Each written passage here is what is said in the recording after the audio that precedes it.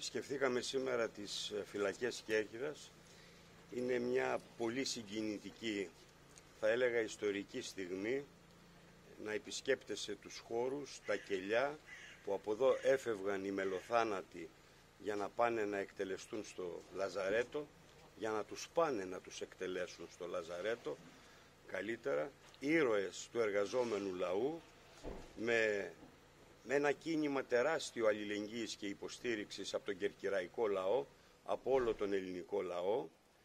και είναι υποχρέωση των απογόνων αυτών των ηρώων, εμάς όλων δηλαδή, να τους θυμάμαι, να επισκεπτόμαστε τους χώρους αυτούς,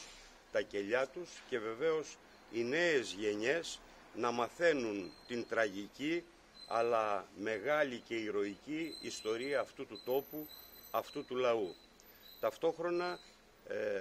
με άδεια της Διεύθυνσης των Φυλακών συναντήσαμε τους εργαζόμενους εδώ στο χώρο. Ιδιαίτερα εντυπωσιακό ήταν το σχολείο δεύτερης ευκαιρίας που